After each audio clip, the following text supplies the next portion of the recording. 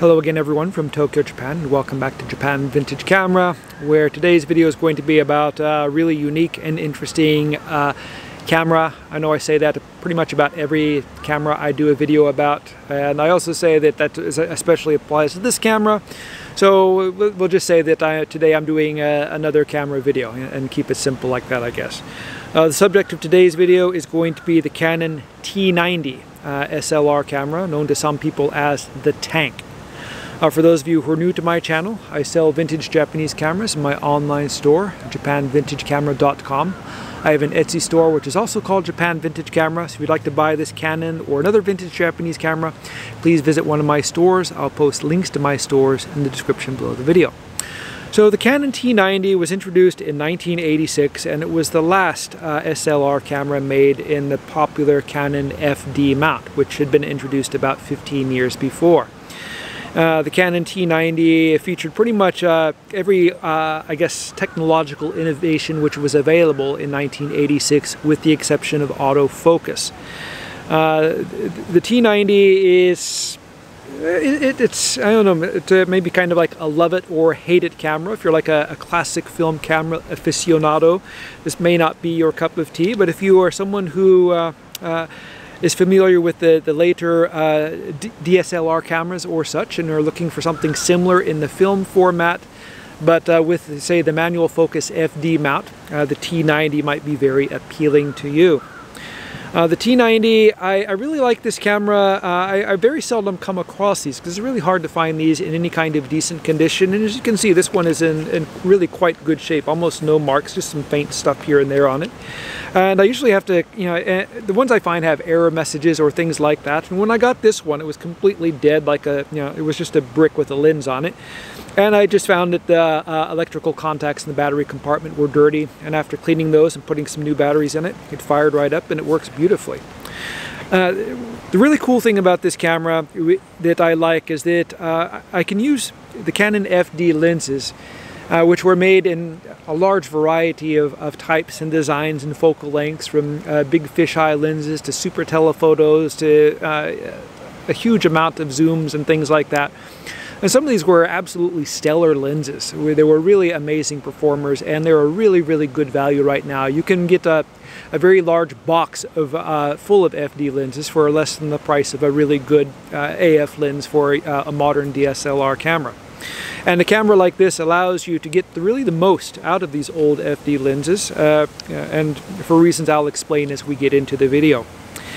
Uh, I've, I've always been kind of a, a fan of the Olympus OM series because I kind of like the compact design and my favorite of the OM series is like either the OM4 or OM3 uh, mainly because of their uh, spot metering capability and also the ability for uh, uh, say uh, uh, dark or light objects. You can simply shoot at these things at the at the push of a button on the camera and uh, it, it, makes it so much easier to uh, to get accurate, say, light metering in very difficult lighting situations. On sunny days where you have some people standing in shade and some people standing in the sunlight and things like that, it is very difficult for a lot of cameras to get a good exposure where you can see everything in such a situation. And the OM series, uh, OM4 and OM3, uh, allowed me to do that. It also allows for shooting uh, black things with dark backgrounds or uh, you know, people uh, skiing in the snow and stuff like that and being able to see the snow as actual snow and not something gray in the back. But you know the Canon uh, really just I don't know if I, I can't say if they borrowed or stole this idea from Olympus and they put it into the T90. So not only do you have this uh, Olympus style uh, metering system put into a Canon camera, but you have it with this very inexpensive FD mount. And the Olympus lenses, the OM series lenses, especially the, the better lenses in, uh, in the product lineup are uh, very expensive and some have become astronomically expensive. Uh, there aren't really any astronomically expensive lenses in the FD uh, lens lineup, so uh, you, you get the same technological features as the OM4 or OM3 and maybe a more ergonomic design and with a much less expensive Canon FD mount. Uh, but wait, there's more than that. Uh, the Canon T90 offers a 1 4,000th top uh, 1 4,000 second top shutter speed, which gives you one more stop of speed than the OM series uh, made in those cameras, the OM4 and OM3. which makes it uh, possible to use those you know beautiful uh, FD mount 50 or 55 millimeter f1.2 lenses. I really love the fast lenses on the Olympus cameras, but the limitations of the shutter uh, kind of uh, forced me to use neutral density filters if I want to shoot the their fast lenses wide open. Uh, in some situations, in some films, you'll need a neutral density film cam excuse me filter on this camera as well but uh, the extra stop of speed comes in handy and also good for you know uh, freezing motion and stuff like that.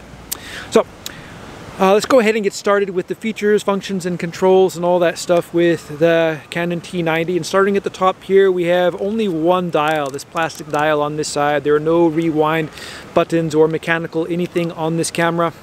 On the left side here, we start with this kind of like white stripe here, and this is a, a, a access for the light to come in and illuminate the, the camera settings make it visible in the viewfinder.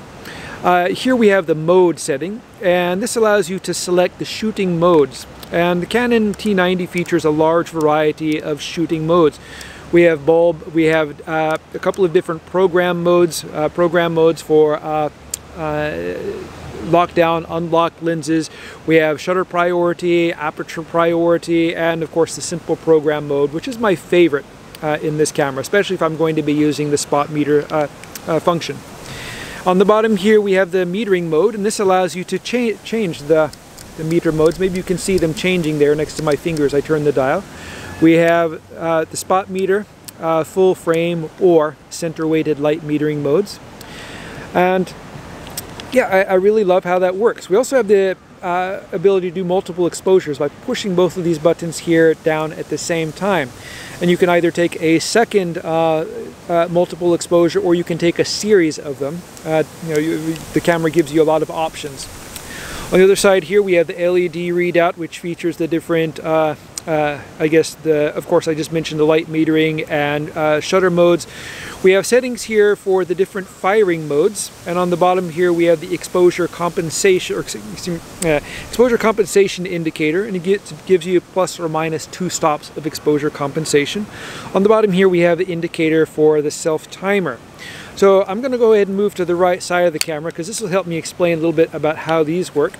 The side here we have a few different switches hidden under this cover, and on, on the top one it's marked Finder, and we have kind of like a a three-way switch here where you can turn off the LED read on, readout on the inside.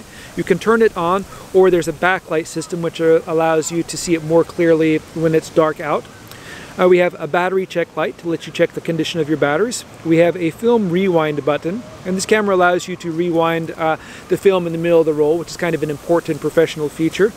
And on the bottom here we have the uh, this yellow button, or beige button, uh, beige yellow button, which you use to change the firing modes. And you can change it set on single right now, but if I push this button, uh, switches from single to say uh, continuous high, continuous low. And then to use the self timer, we have two settings on the bottom for two seconds and 10 seconds. You would simply push this lever to show the self timer setting, and then you can kind of choose by pushing the button two seconds or 10 seconds. Uh, so pretty cool and interesting features. On the back of the camera here we have this uh, uh, shutter which closes the viewfinder. So if you're doing say precision shooting and you're not by the camera looking through it and blocking off the light coming through the rear of the finder, it's possible that some of this stray light can find its way toward the light meter on the inside and affect the exposure. So by closing this when your eye is not near the finder, uh, that gives you more uh, accurate metering. Uh, on the sides here we also have these buttons here. We have the AE lock button, similar to the uh, uh, program or you know the program by using the shutter button on the front. And we have the uh, buttons here for uh, black or white, allowing you to shoot black objects with black backgrounds or uh, light objects with white backgrounds. Uh, similar to what, as I previously mentioned on the Olympus OM4 and OM3 series. On the bottom here we have a, a, a selection of switches here uh, we have the on-off button, we have the ISO button, and we have the exposure compensation button. If you're pushing these buttons and using the dial on the top, you can set the film speed and you can also adjust for the exposure compensation. Uh, on the bottom here, we have nothing but a tripod socket, and we have the switch here, uh, lever for removing the battery pack. And I have this camera loaded with these uh, lithium ion batteries, which uh, I like here in Japan. I can use them over and over again. I've been using this set of batteries for six or seven years now. Works really well. Uh, make sure that when you're not using these cameras to uh, uh, not leave the batteries loaded inside because regardless of what kind of battery you have in there, the gassing from the batteries has a chemical reaction with the, the plating on the contacts and causes it to corrode and can cause the uh, uh, the camera or batteries not to get a good connection and the camera won't work. We have an accessory socket here for plugging in a, a remote switch. And of course we have the shutter button on the front.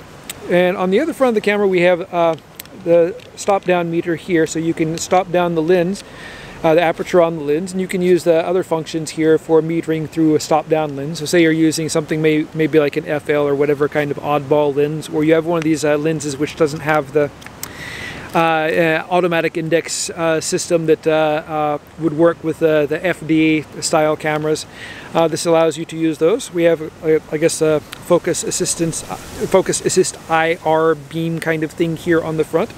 Oh wait, there's nothing like that. I'm trying. To, I'm here. I'm thinking of something like the Konica, you know, modern cameras. This is probably just the. If I would imagine, maybe I should check it. The countdown light for the self timer.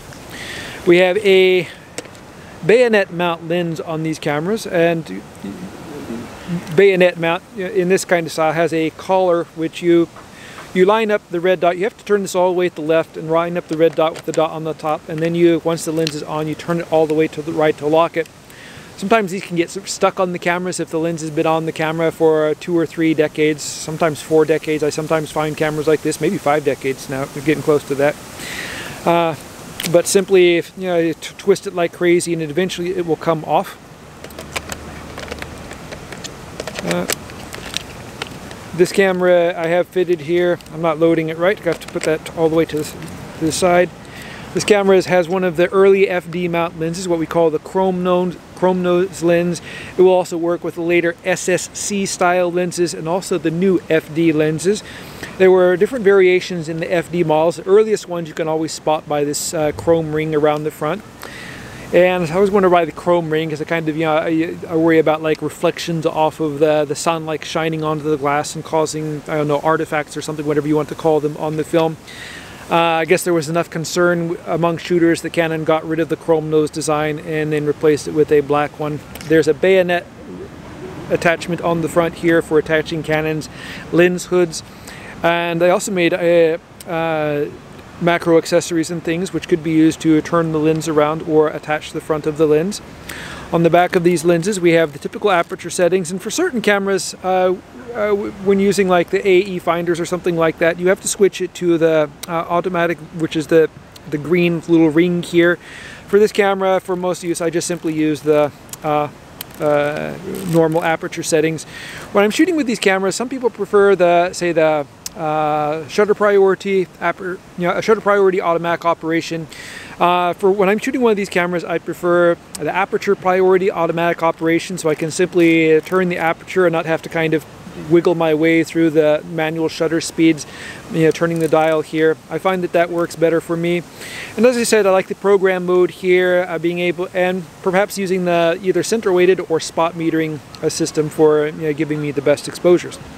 Anyway, uh, it's kind of my, uh, my long-winded review of the Canon T90. Uh, oh, I forgot to talk about loading the film. So simply pop open the door like so. This is going to be one of the easiest cameras in the world to load film into.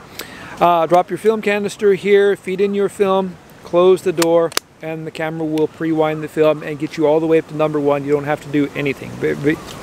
Uh, easy pleasy. And as I said, the camera has automatic rewind. It will rewind the film when you reach the end of the roll or if you want to change films for whatever reason. You expose the film, you won't have to go all the way through the uh, roll before you get rid of it. Uh, you have the capability to rewind it right here.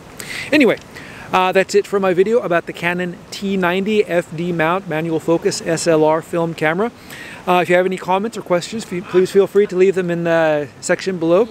Uh, if you want to see more videos, uh, please subscribe. Uh, thank you very much for watching, and I hope you tune in again soon.